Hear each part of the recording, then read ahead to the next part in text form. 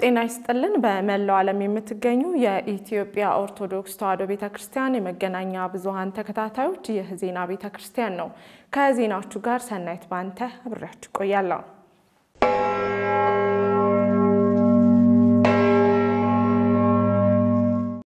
ቀዳሚ ወዳደረግነው ዜና ስናልፍ የቅዱስ ሲኖዶስ ምልአተ ጉባኤ በአራተኛ ቀን ውሎ በርካታ ጉዳዮች ላይ ውሳኔ ማሳለፉ ተገልጿል።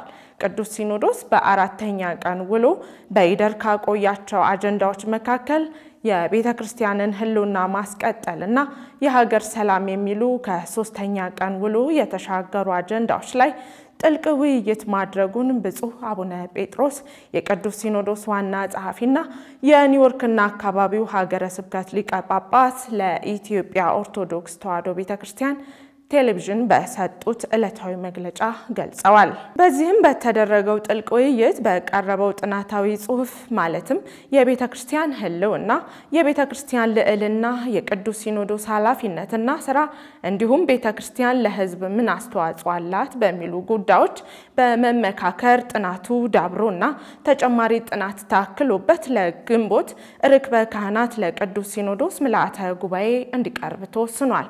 በውይይቱ ሀገራዊ ሰላምና መረጋጋትን በተመለከተ ቤተ ክርስቲያን ባላት የመሪነት ኃላፊነት ከፍተኛ ስራ መስራት እንዳለባት በማመን በሰላም ላይ የሚሰራ ክፍል በቅዱስ ሲኖዶስ ጽሕፈት ቤት እንዲደራጅና አደረጃጀቱም ዓለም አቀፋዊና ሀገራዊ የሆነ ተቋም እንዲሆን ለዚሁም የሚያገለግል መመሪያና ደንብ እንዲዘጋጅለት ተወስኗል። ብፁዕነታቸው ቅዱስ ሲኖዶስ በሀገራችን የሚታየውን የሰላም መደፍረስ ለማስወገድ እንደ ሀገር ንስሐ ያስፈልጋል የሚል ውሳኔ ማሳለፉንና ዝርዝሩ በቅዱስ ፓትርያርኩ እንደሚገለጽም ተናግረዋል። በማስከተልም መንፈሳዊ ኮሌጆችን አጠቃላይ ደንብ በማጽደቅ ወጥ ሕግና መመሪያ እንዲኖር ውሳኔ ማሳለፉንና ደንቡ በስራ ላይ ለሚገኙና ወደፊት ለሚከፈቱ ኮሌጆች እንደሚያገለግልም ገልጸዋል። የኢትዮጵያ ሃይማኖት ተቋማት ጉባኤ መዋጮ መጠየቅን በተመለከተም ቅዱስ ሲኖዶስ የሃይማኖት ተቋማት ጉባኤ ዓላማና ለቤተ ክርስቲያን በሚኖረው አስፈላጊነት ላይ የሚያጠና ብፁዓን አበው ሊቃነ ጳጳሳት ያሉበት ኮሚቴ እንደሰየመ ተናግረዋል። ጉባኤው በሜቄዶንያ የቀረበውን የእርዳታ ጥያቄ በመንበረ ፓትርያርክ ጠቅላይ ጽሕፈት ቤትና በቋሚ ሲኖዶስ በኩል ምላሽ እንዲሰጠው ሲወስን፣ በተጨማሪም የሰዋስወ ብርሃን ቅዱስ ጳውሎስ መንፈሳዊ ኮሌጅ የበጀት ጥያቄ በቋሚ ሲኖዶስ በኩል የሚታይ ይሆናል ተብሏል። በተፈጥሮና በሰው ሰራሽ ችግሮች ድጋፍ የሚሹ ብዙ ወገኖች መኖራቸውን የተገነዘበው ቅዱስ ሲኖዶስ ይህንንም ችግር ለመቅረፍ በቤተ ቤተ የልማትና ክርስቲያናዊ ተራድኦ ኮሚሽን በኩል ዓለም አቀፍ ጥሪ እንዲቀርብና በየደረጃው ያሉ ችግሮች እንዲፈቱ እንዲደረግ ጉባኤው ወስኗል። የቡኖ በደሌ ሀገረ ስብከት የበጀት ጥያቄ ላይ ውሳኔ በማሳለፍም የዕለት ውሎውን አጠናቋል። ብፁዕ አቡነ ዘካርያስ የምዕራብ ጎጃም ሀገረ ስብከት ሊቀ ጳጳስ በሰሜን አሜሪካ ላከናወኑት ከፍተኛ መንፈሳዊ አገልግሎት ከመንፈስ ልጆቻቸው የምስጋና ስጦታ ተበርክቶላቸዋል። ዝርዝሩን ተከታትለን እንመለስ። ብፁዕ አቡነ ዘካርያስ የምዕራብ ጎጃም ሀገረ ስብከት ሊቀ ጳጳስ አንጋፋ ከሚባሉት ብፁዓን አበው አንዱ ናቸው። አቡነ ዘካርያስ በበርካታ አህጉረ ስብከት አባታዊ አገልግሎትን በማበርከት በጣዕመ ስብከታቸው አያሌ የቤተ ክርስቲያን ልጆችን አፍርተዋል። በተለይም በወለጋ ክፍለ ሀገር ጉባኤ ጭምር በመዘርጋት ከማስተማራቸውም በላይ በአካባቢው ሃይማኖት እንዲጸና ያደረጉ አባት ናቸው። ብፁዕነታቸው በጋሞ ጎፋ ሀገረ ስብከት በየገጠሩ በመዘዋወር ለቤተ ክርስቲያን መስፋፋት ከፍተኛ ተጋድሎ ፈጽመዋል። ብፁዕ አቡነ ዘካርያስ በሰሜን አሜሪካ ቤተ ክርስቲያን እንድትሰፋ በማድረግም ኃላፊነታቸውን ተወጥተዋል። በመሆኑም በዚህ አገልግሎታቸው በአካባቢው የሚገኙ ምዕመናንና አገልጋዮች ብፁዕነታቸው ለሰጧቸው ፍቅርና አገልግሎት በአርባ ሁለተኛው አጠቃላይ የሰበካ መንፈሳዊ ጉባኤ ላይ የምስጋና ሽልማት አበርክተውላቸዋል። ብፁዕ አቡነ ዘካርያስ በሰሜን አሜሪካ በነበሩበት ጊዜ ወደዚህ እንደመጡ ልጆቻቸው በክብር በሽልማት ስላልሸኟቸው በዚህ ጉባኤ ፊት እንዲሸለሙልን ብለው ሽልማታቸውን ልከዋል። ሽልማቱን ከመስጠታችን በፊት ምክንያቱን በአጭሩ ያቀርቡልናል። ብፁዕ አቡነ ዘካርያስም በሰሜን አሜሪካ የኒውዮርክና አካባቢው ሀገረ ስብከት ሊቀ ጳጳስ ሆነው በቅዱስ ሲኖዶስ ተመድበው ባገለገሉባቸው በርካታ ዓመታት ይህንን ሐዋርያዊ ተግባር በአስቸጋሪ ሁኔታዎች ውስጥ ሆነው ሲፈጽሙ ኖረዋል።